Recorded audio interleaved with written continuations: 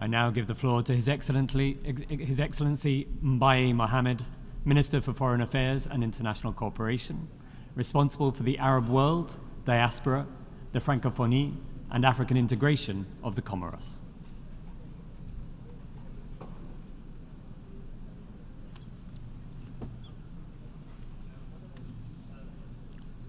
Excellence. Excellencies, Mr. President of the General Assembly, uh, Majesty, Your Highness, Excellencies, ladies and gentlemen, heads of delegation, ladies and gentlemen, Assalamu alaikum. It is my honor to convey to you the warm greetings of His Excellency, Mr. Azali Assoumani, President of the Union of the Comoros, as well as his wishes for every success in the conduct of this work which is of global significance. First and foremost, I wish to convey to the authorities of the United States, on behalf of our delegation, our warm gratitude for the warm welcome from you in New York during our participation during this 79th session of the United Nations General Assembly. I wish to also convey my warm greetings to His Excellency Philemon Yang on his election and his our, our we we welcome his election to the presidency of the 79th session of the General Assembly and I wish to tell him that we as Africans are honored by his presidency.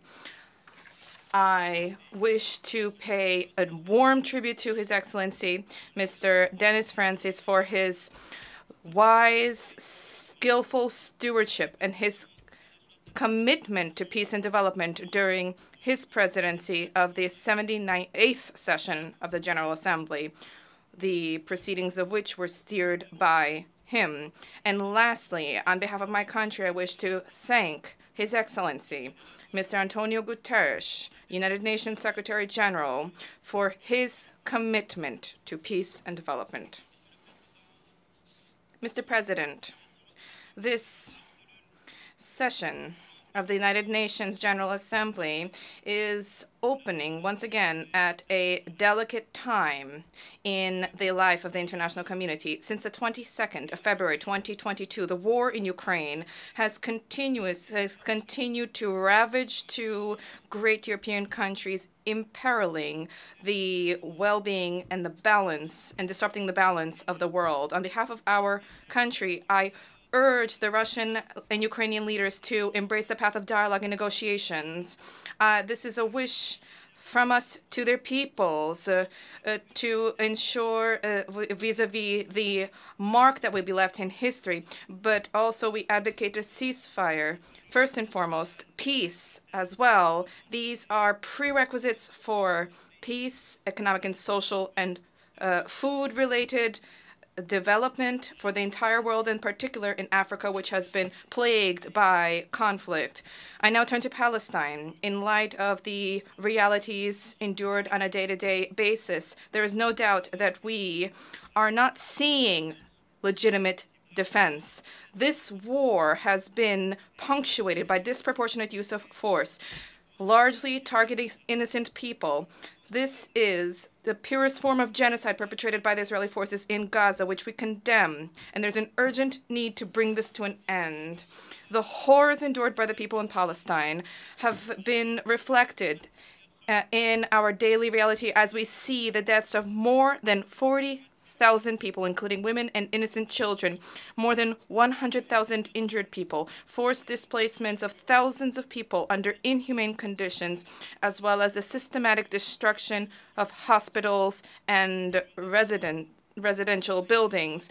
Our country reaffirms our full solidarity and our steadfast support uh, to the fraternal people of Palestine. We beseech the international community to act for an immediate cessation of hostilities and for a rapid resumption of the delivery of humanitarian assistance. Furthermore, We call for a fair and lasting solution rooted in international law and the relevant resolutions of the United Nations. We specifically call upon the international community to work quickly to arrive at the two state solution that of two states, a sovereign Palestinian state with East Jerusalem as its capital, living side by side in full security with Israel. We applaud the admission of the State of Palestine as a full fledged member of the United Nations, as well as its participation in the work of the United Nations, beginning with this session. I also wish to recall that uh, the situation in the West Bank is also of great concern, and as has been stressed by Cardinal Pizzaballa, Latin Patriarch of Jerusalem, what is transpiring, what is transpiring is a palpable and concrete example of how hatred, resentment, contempt have unleashed forms of violence that are increasingly extreme and increasingly difficult to contain. The situation in the Sudan is also a focus of our attention. We call upon the two parties to the conflict to exercise restraint, to shield their populations from the horrors of this war, which for, two, which for fraternal peoples has lasted for far too long. I now turn to Western Sahara the Union of the Comoros believes that the autonomy plan for this territory within the Sharifian Kingdom, submitted in 2007 by the Moroccan authorities, is the surest way to to arrive at a lasting settlement to the anachronistic conflict. The perpetuation of this conflict runs counter to the interest of the peoples concerned and thwarts the economic development of the entire region. My country, therefore, calls upon the stakeholders to embrace this. We urge the international community to extend its support for this. On the other hand, I wish to stress that international law and openness to dialogue need to prevail with a grasp of the problems, but particularly political issues. The same applies to respect for the territorial integrity of states. And as for the question of the Comoran island of Mayotte, uh, let us recall that uh, Comoran unity is a reality based on ethnogeographic, linguistic, religious, and economic data, despite the fact that this is an island nation. And this is in addition to the country's commitment to the sacrosanct principles of international law and to the resolutions of the United Nations, which recognize the sovereignty of, of Comoros over the island of Mayotte. I therefore wish to take this opportunity, being present here on the rostrum of the General Assembly, eminent symbol of multilateralism, to reaffirm the steadfast desire of the government of Comoros to respect law, rule of law, and our openness to dialogue when it comes to this dispute pitting the kingdom of uh, pitting the Union of Comoros against France. Uh, and this is important to achieve a fair, lasting solution to safeguard the shared interests of our friendly countries. The Union of Comoros reiterates our commitment to the declaration adopted at the Summit for the Future, which was held on 22 September on the sidelines of the General Assembly. We advocate meaningful international cooperation to establish guidelines in order to shape legal tools guaranteeing development, and equitable use of artificial intelligence in order to ensure that this help to result in growth, productivity, a growth of productivity and knowledge throughout the world. This declaration ushers in, inter alia, promising prospects in terms of taking on board and tackling specific issues faced by small island developing states. In this regard, the SIDS 4 conference, which was held last May in Antigua and Barbuda, also was an important step forward in this universal awareness. And we call for stringent respect for the Paris Agreement, as well as meaningful and uh, appropriate levels of financial and technical support. We expect, we anticipate with great interest, we eagerly anticipate the next conference on financing for development to be held in Spain in 2025. This conference will be an opportunity for states in the South to champion reforms in banks and multilateral institution development institutions as well as uh, to ensure a, pre a, a, predictable framework for sustainable resources that are acceptable and uh, accessible and predictable. To ensure the success of this uh, event, uh, we cherish the hope that countries concerned will unite to work together to set out their proposals. Peace and political stability are two critical pillars underpinning development initiatives.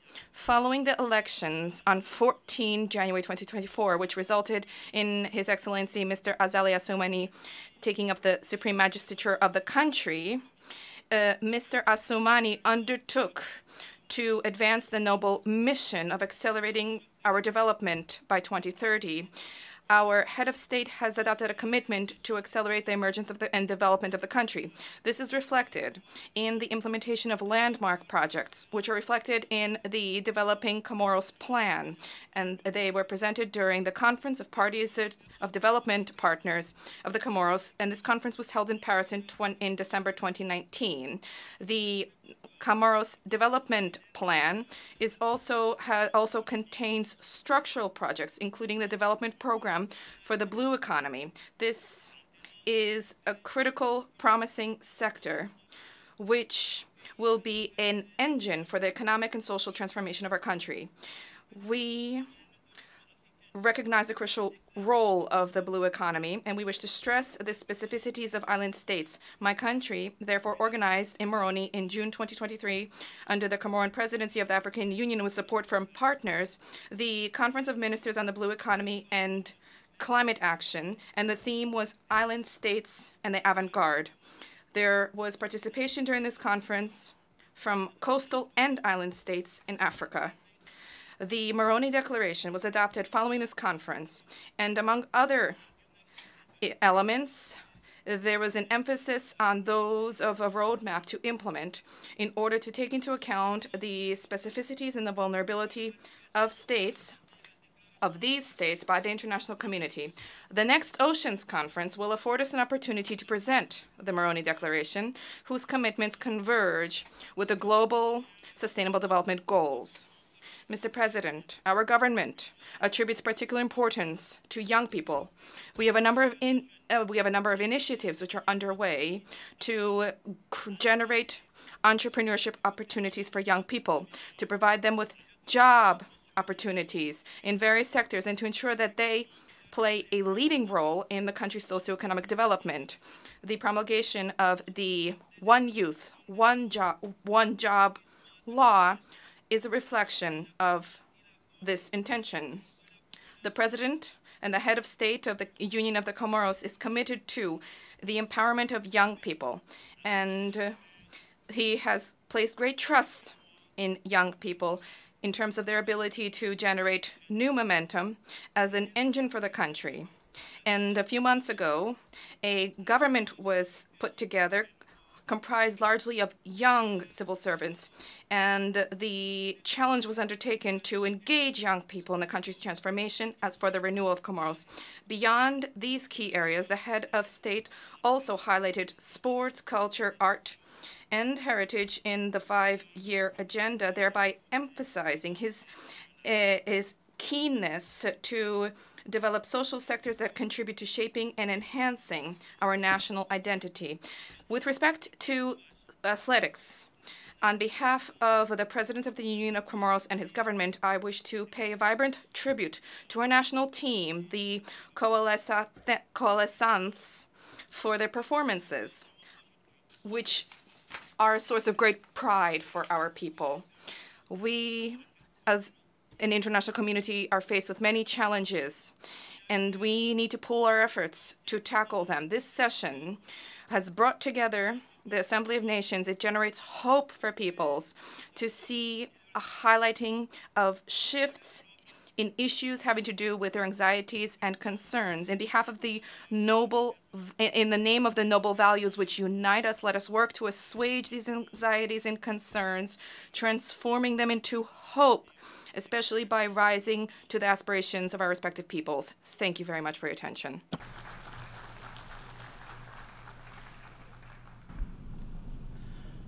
I thank the Minister for Foreign Affairs and International Cooperation, responsible for the Arab world, diaspora, the Francophonie, and African integration of the Comoros.